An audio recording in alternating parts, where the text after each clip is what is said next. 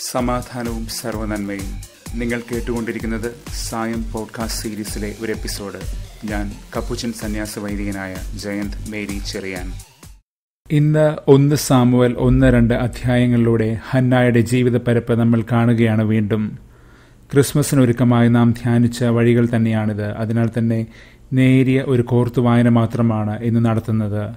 ഹന്നായുടെ ജീവിതമോ ചരിത്രഗതികളോ പാരമ്പര്യ വിവരണങ്ങളോ ഭൂമിശാസ്ത്രമോ എന്തിനേറെ ശരീരശാസ്ത്രം പോലും ഇടം പിടിക്കാത്ത വർണനകളാണ് ആദ്യമേ വിവരിക്കപ്പെടുന്നത്. ഒരു സ്ത്രീയാകുമ്പോൾ തന്നെ ഭർത്താവിന്റെ തണലിൽ ജീവിക്കാൻ വിധിക്കപ്പെടുമ്പോൾ അവന്റെ ജീവിത പശ്ചാത്തലങ്ങളിൽ മറഞ്ഞു പോകുവാനും അവൾ വിധിക്കപ്പെടുകയാണ് പാരമ്പര്യ ഘടനകളിൽ. ആണുങ്ങളുടെ ഭൂമി അവകാശങ്ങൾ മാത്രം അടയാളപ്പെടുന്ന ഒരു കാലത്ത് ഒരു സ്ത്രീയായ അവൾ ജനിച്ചെന്നോ ജീവിച്ചെന്നോ മരിച്ചെന്നോ പോലും ആർക്കും താല്പര്യമുള്ളൊരു വിഷയമായിരിക്കില്ല. പ്രത്യേകിച്ച് ഒരു കുഞ്ഞിനെ പോലും പ്രസവിക്കാനാകാത്ത സ്ത്രീ എന്ന നിലയ്ക്ക് അവളുടെ ജീവിതം ഒരു നേർത്ത ഓർമ്മ പോലുമായി തീരില്ല പക്ഷേ അവളുടെ ജീവിതവും ഭാഗധേയവും അവകാശങ്ങളും ഫലപ്രാപ്തികളുമെല്ലാം മാറിമറിയാൻ പോവുകയാണ്. അവളുടെ പേര് സൂചിപ്പിക്കുന്നത് പോലെ ദൈവകൃപയാൽ ഹന്ന കൃപയെന്നാണ് ആ പേരിന്റെ അർത്ഥം. വളരെ വിശേഷപ്പെട്ട ഒരു വാക്കിന്റെ കവിതാരസം ഈ പാഠഭാഗങ്ങളിൽ വിടരുന്നുണ്ടത്രേ. ഷയാൽ ചോദിച്ചു വാങ്ങുക കടം മേടിക്കുക എന്നൊക്കെ വൈവിധ്യങ്ങളുള്ള അർത്ഥമുണ്ട് ഇതിന്. സാമുവേരനെ ഹന്ന ചോദിച്ചു വാങ്ങിച്ചതാണ് ദൈവത്തിന്റെ കയ്യിൽ നിന്ന്. അവൾ ചോദിക്കുമ്പോൾ തന്നെ അവനെ ലഭിച്ചു കഴിഞ്ഞു എന്ന ഉറപ്പിലാണ് അവൾ സംസാരിക്കുന്നതും. അതുകൊണ്ട് തന്നെ ആ കുഞ്ഞ് വളരുമ്പോൾ ദൈവത്തിനായി വാഗ്ദാനം ചെയ്യുകയും അവൾ ചെയ്തിട്ടുണ്ട്. പക്ഷേ കുഞ്ഞ് സാമുവൽ വളർന്നു കഴിയുമ്പോൾ ആ കുഞ്ഞിനെ പിരിയാൻ അവൾക്ക് ചെറുതല്ലാത്ത വ്യസനമുണ്ട് സ്വാഭാവികമായിട്ടും. സാമുവേലിന് അവൾ നൽകിയ ആ പേരിന്റെ അർത്ഥം തന്നെ ദൈവത്തിൽ നിന്ന് ചോദിച്ചു വാങ്ങിയവൻ എന്നർത്ഥത്തിലാണ് ഷയാൽ. പിന്നീട് സാമുവേലിനെ ദൈവത്തിന് സമർപ്പണം ചെയ്യേണ്ട സമയം വരുമ്പോൾ അവൾ ദൈവം എന്നോട് കടം ചോദിക്കുന്നു ഷയാൽ എന്നാണ് പറഞ്ഞത്. സാമുവേലിനെ ദൈവത്തിന് കടം കൊടുക്കുന്നതായിട്ടാണ് ഹന്ന പറഞ്ഞു വയ്ക്കുന്നത് ഹന്ന ദൈവവുമായുള്ള തന്റെ ഈ ബന്ധത്തിൽ സൂചിപ്പിക്കുന്ന ഈ വ്യക്തിപരമായ തുല്യതയും അതിൽ നിന്നുളവാകുന്ന സ്വാതന്ത്ര്യവും എന്നെ അത്ഭുതപ്പെടുത്തുകയാണ്.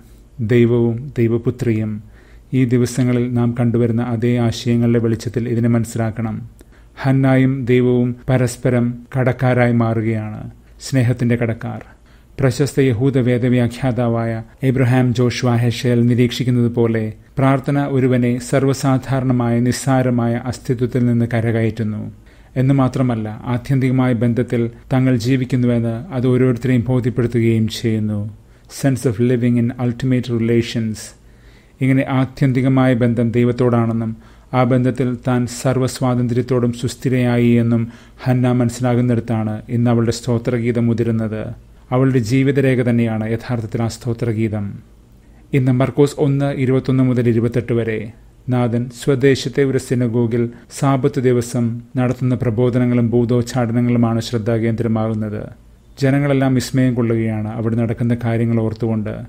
എന്നാൽ ഈ വിസ്മയം കൂടുതൽ കൗതുകത്തിലൂന്നിയതാണ്. വിശ്വാസത്തിലേക്ക് നയിക്കപ്പെടുന്ന ഒന്നല്ല എന്ന ക്രമേണ സുവിശേഷങ്ങളിൽ നിന്ന് നമുക്ക് മനസ്സിലാകുന്നുണ്ട്. പ്രത്യേകിച്ച് സ്വദേശത്ത് നാഥനേറ്റുവാങ്ങുന്ന നിരാസങ്ങളുടെ വെളിച്ചത്തിൽ. പിശാചുക്കൾ നാഥനെ തിരിച്ചറിഞ്ഞ് ശകാരങ്ങൾ ചൊരിഞ്ഞുകൊണ്ട് ഇറങ്ങിപ്പോകുന്നു. നാഥൻ സ്വദേശത്ത് തിരസ്കാരങ്ങൾ ഏറ്റുവാങ്ങിയവനാണ്. അവന്റെ പൈതൃകവും ദേശക്കുറിയും ശരീരശാസ്ത്രവുമെല്ലാം അവനെതിരെ പ്രയോഗിക്കപ്പെടുന്നുണ്ട്. അവന്റെ പൈതൃകവും ദേശവുമെല്ലാം പേരെടുത്ത് പറഞ്ഞുകൊണ്ട് തന്നെയാണ് ഈ ജനം അവനെ തള്ളിക്കളയുന്നത് പലപ്പോഴും. അവന്റെ ശരീരത്തെ അനിർവചനീയമായ പീഡകൾക്ക് വിധേയമാക്കിയാണ് അവർ അവനെ മരണക്കയത്തിൽ തള്ളിയിട്ടതും. ഹന്നായുടെ താപങ്ങളും ഇങ്ങനെയായിരുന്നല്ലോ. ചരിത്രവും ഭൂമിശാസ്ത്രവും ജീവശാസ്ത്രവുമെല്ലാം അവൾക്ക് അനുകൂലമല്ലാതെ വന്നപ്പോൾ ദൈവം അവളെ പിടിച്ചുയർത്തി. ഇങ്ങനെ നൂറു നൂറ് തപങ്ങളും താപങ്ങളും ഘനീഭവിച്ച ക്രിസ്തുജീവം. പക്ഷേ അപ്പോഴും അവൻ ദൈവത്തോടും നമ്മോടും മനസ്സുരുകി ചോദിച്ചുകൊണ്ടിരിക്കുകയാണ്. ഇന്നലെ നാം കണ്ടതുപോലെ ഇപ്രാവശ്യവും എന്നെ അനുവദിക്കുക. അലോ ദിസ് ടൈം നമ്മളോട് അവൻ ചോദിച്ചു വാങ്ങിക്കൊണ്ടേയിരിക്കുന്നു ഷയാൽ. ഓരോ പ്രാവശ്യവും അവൻ നമുക്ക് ചെയ്തു തരുന്ന ഈ കാര്യങ്ങൾ ഓർത്ത് നമ്മൾ അവന്റെ കടക്കാരായി മാറുകയും ചെയ്യുന്നു ഷയാൽ. സാത്താൻ എങ്ങനെ മനുഷ്യന്റെ മുൻപിൽ ദൈവനിരാസത്തിന്റെ മധുരക്കനികൾ നിരത്തി അവനെ പ്രലോഭനത്തിന് വഴിതെളിക്കുന്നുവെന്ന് കഴിഞ്ഞ ദിവസങ്ങളിൽ യോഹന്നാൻ ശ്രീഹ പഠിപ്പിക്കുകയായിരുന്നല്ലോ. മനുഷ്യന്റെ ഉത്ഭവത്തിനു മുൻപേ സാത്താൻ ദൈവത്തിൽ നിന്ന് തെറ്റിപ്പിരിഞ്ഞ് അന്തിക്രിസ്തുവിന്റെ വേദം പഠിപ്പിച്ചുകൊണ്ടിരിക്കുകയാണ്. ഇന്നിതാ അതേ പിശാചുക്കളുടെ പ്രതിഷേധ സ്വരം നമ്മൾ കേൾക്കുകയാണ് സുവിശേഷത്തിൽ. അന്തിക്രിസ്തുമാരുടെ ഈ പ്രഘോഷണവേദിയിൽ യഥാർത്ഥ ക്രിസ്തീയ പ്രഘോഷണം എന്തെന്ന് ഇത് നമ്മെ ഈരത്തി ചിന്തിക്കാൻ പ്രേരിപ്പിക്കുകയും ചെയ്യുന്നു.